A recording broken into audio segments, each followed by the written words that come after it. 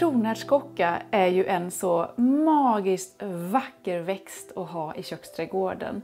Det är en tistelväxt som blir stor och omfångsrik och verkligen toppar de andra grönsakerna i trädgården och ser sådär superintressant och häftig ut. Och så är det också en underbart god växt att äta. Välkommen till mitt kök! Idag står jag här med ett gäng kronärtskockor som jag precis har skördat ute i köksträdgården. Och gör den här videon för dig, för en av de absolut vanligaste frågorna som jag får om kronärtskocka handlar inte om odlingen i köksträdgården, utan om hur vi tillreder och äter kronärtskocka. Och idag hade jag tänkt att visa dig tre sätt, oerhört enkelt, som vi kan eh, tillreda kronärtskocka på. Och innan vi drar igång så vill jag verkligen betona att kronärtskocka är inte liksom en lyxgrönsak som bara passar när det ska vara fest och lite extra sådär. Kronärtskocka är en grönsak för varje dag men som lyxar till de vanliga måltiderna. Det är ju en väldigt speciell växt att få lov att servera och särskilt extra, och många pluspoäng blir det, när du kan berätta för dina gäster eller familjen att den kommer från den egna trädgården. Så här ser den ut. Det är alltså en eh, tistelväxt och eh, kronärtskockorna kan vara mer eller mindre taggiga, både i själva växten och i den här blomknoppen som detta är. Det beror på vilken sort du odlar. Här i köksträdgården vid berget så odlar jag en kronärtskocka som heter Herrgårds och det är en sån här gammal kulturarvsväxt som sägs vara lite mer härdig än flera andra sorters kronärtskocka. Och den är jättetaggig. En av mina andra favoriter heter Green Globe och den är betydligt mjukare, den är som en liten boll och inte alls så taggig i de här kronbladen. Men de här delarna är ju ingenting som vi äter, så det gör ingenting om den är taggig. När jag skördar kronärtskocka så väljer jag ut exemplar, knoppar på växten som jag tycker ser fin ut. Du behöver inte köra på de absolut största. Du kan plocka de som är i mellanstorlek också och också de lite, lite mindre knopparna. Precis som när jag toppar andra växter och gör det som kallas för dead heading, att man tar bort vissnande blomdelar till exempel, så knipsar jag gärna kronärtskockan ovanför ett blad. För då finns det en liten chans att växten skjuter ut en ny blomknopp i det här bladvecket. Men sen knipsar jag bort den här lite längre skälkdelen för det är ingenting som jag vill ha med mig in i köket sedan.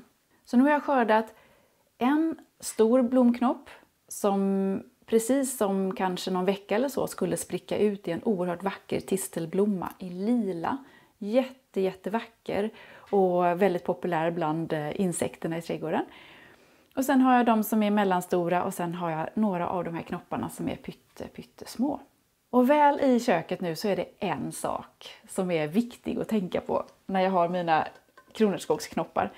Och det här är ju sånt som ser lite osmakligt ut kanske för den som är helt ny med kronärtskockar. Det är ju en massa myror som eh, fräser omkring på de här knopparna. Och det gör de för att, vi ser här på den här, det finns massa bladlöss på den här knoppen kanske avskräcker en del, men det är ingenting som är farligt. Myrorna söker sig till växten för att eh, suga ur eller tillgodogöra sig ett sekret kan man säga som finns på eh, bladlössen, eller som bladlössen utsöndrar. Så myrorna är ett tecken på att det finns löss på plantan kan man säga. Och nu innan jag använder blomknopparna och äter upp dem så måste jag skölja dem. Och det är steg nummer ett. Och jag som är född och uppvuxen på en ö i Göteborgs södra skärgård med en mamma som hade fiskaffär. Jag liknar det här lite grann vid att borsta en krabba.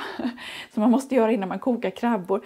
Men jag tar diskborsten här och så bara diskar jag bort bladlössen så att själva knoppen blir fin och ren.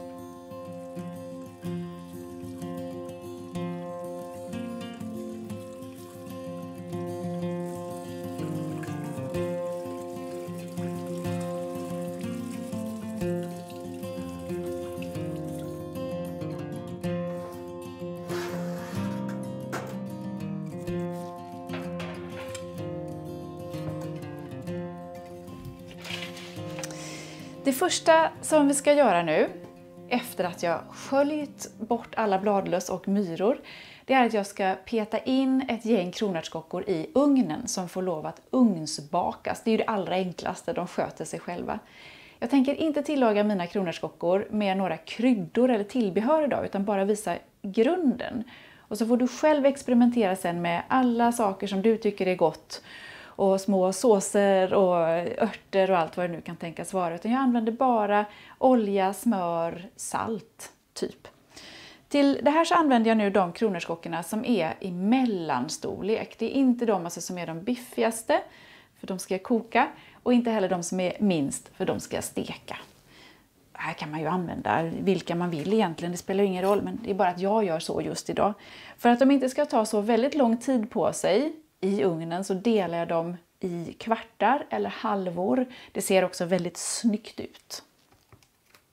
Det, det, är ju alltid så läckert tycker jag att få dela grönsaker som är så här maffiga, typ ett kålhuvud, en lök och kronärtskocka och sådär. När man ser hur den ser ut här inne i mitten. Och här ser du det som är nederst vid skälken.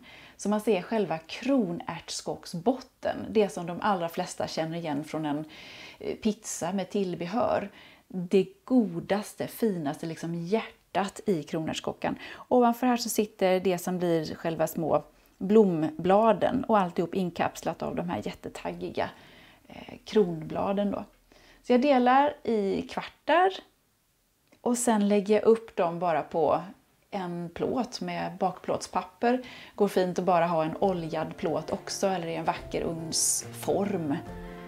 Man gör lite som man känner här.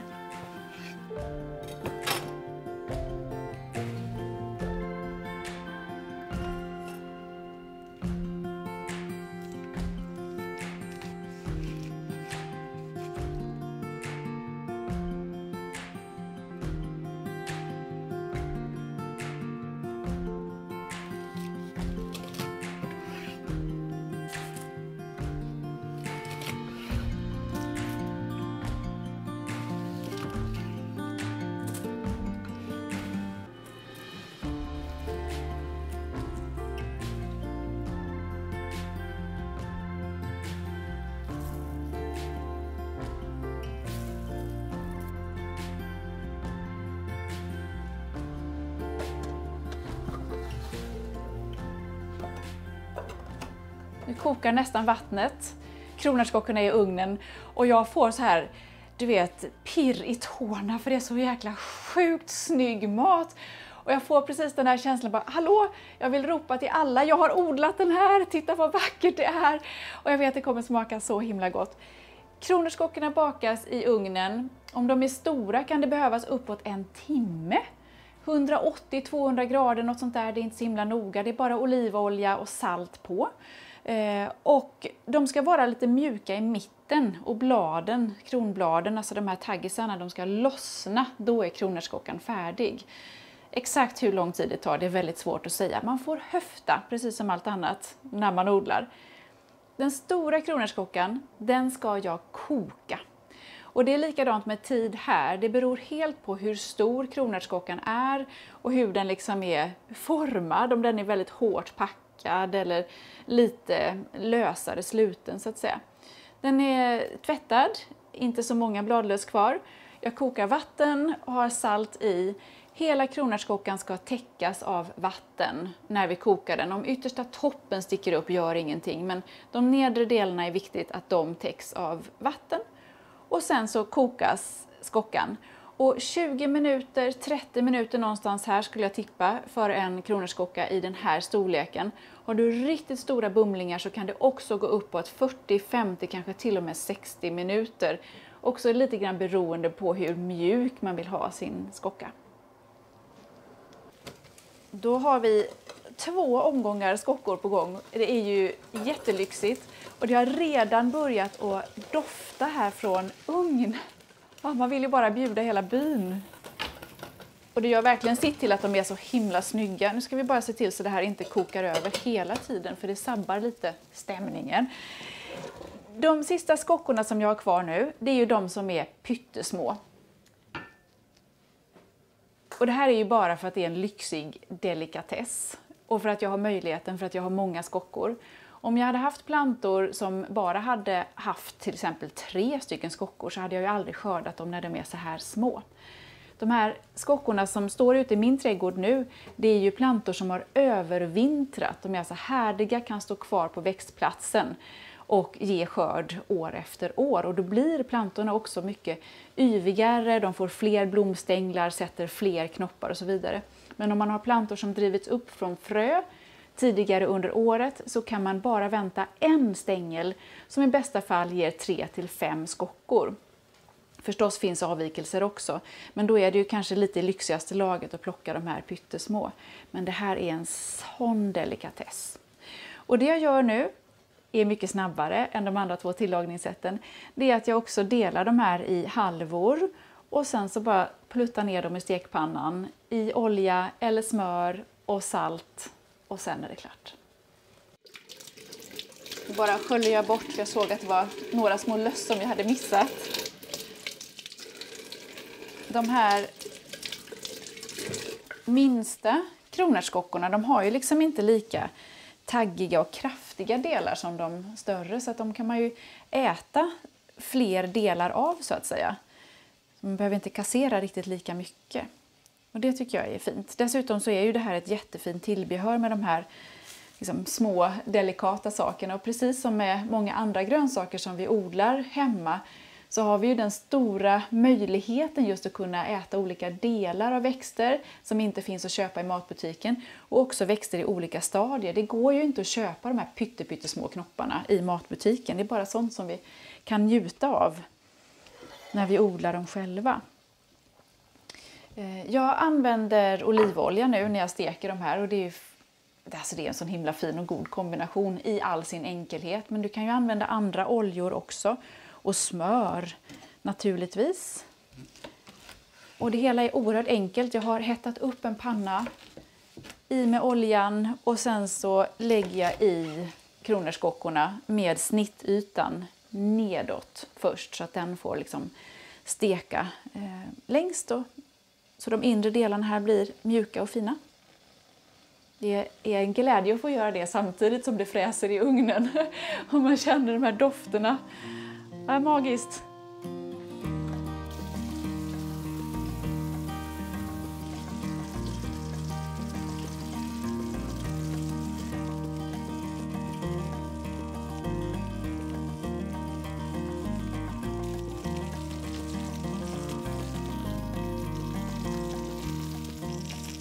Brukar jag kanske inte vanligtvis då torka av spisen samtidigt. Jag har alltid massa barn runt omkring mig men nu kändes det praktiskt att göra det under tiden som jag väntar. Nu är det både kronärtskockan som kokas och den som steks och så de som är i ugnen. Och så försöker jag och emellanåt att titta till med en liten sticka eller kniv då, så att de blir mjuka i själva botten, i den delen som jag ska äta. Kronärtskockan som jag kokar den kan jag ju inte peta på botten eftersom själva skockan är intakt.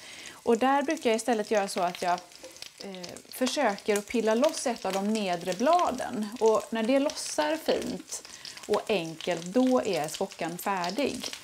Men om det sitter fast endast lite så låter jag den koka några minuter till. kan vi prova nu när det snart har gått 20 minuter.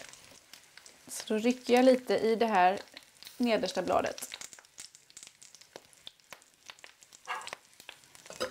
inte färdig. Det har gått 20 minuter så vi ger den 5 minuter till kanske. Den får inte bli överkokt heller. Och så passar jag på att vända på de här små skockorna också. Som jag steker. De var inte riktigt, riktigt mjuka än. Det är så fint när de får färg lite runt om när man ska servera dem.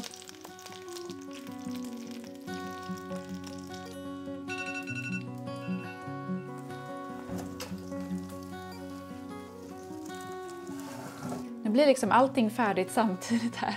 Nu är de ugnsbakade kronärtskockorna färdiga och jag har stängt av plattan till de som är stekta för nu tycker jag att de är färdiga också. Jag gjorde referensen förut till skaldjur och att tvätta en krabba. Och faktum är att när vi äter kronärtskocka så finns det vissa likheter med att äta skaldjur också. Du äter det som är mjukt, resten lämnar du. Och det gäller till exempel de här som vi har ugnsbakat, där man stoppar in i munnen och gnager av det som är mjukt och resten lägger man åt sidan. Så när man serverar kronärtskocka, då är det fint att ha någon form av liksom skalfat eller ett litet eh, ja, men en, ett fat som man kan lägga eh, rester på som man inte vill ha. Det ser trevligt ut på bordet.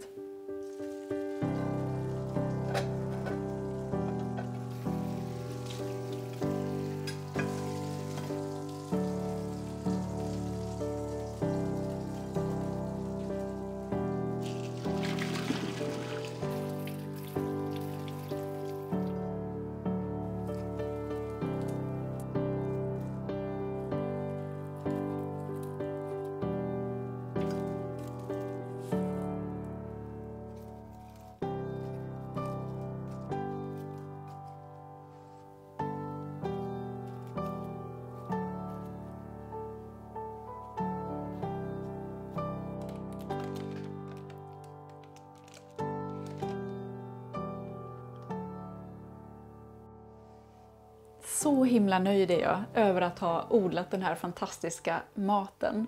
Jag är ingen fena på att lägga upp saker och ting fint och så, men om jag skulle servera det här till min familj så hade jag ju dekorerat fatet med massa fin citron till exempel och kanske en liten blomma eller så. Men du får själv fantisera ihop någonting som skulle funka hemma hos dig. Det är i alla fall oerhört lyxigt att kunna servera kronärtskocka. Det går att tillreda den på många olika sätt. Vi äter de delar som är mjuka, resten lämnar man. Olivolja, smör, salt är egentligen det enda som behövs till. Citron är också jättegott.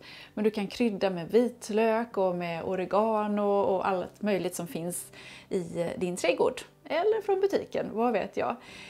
Tre tips om att tillaga kronärtskocka. Koka den, ugnsbaka den, stek den, njut den och framförallt odla den.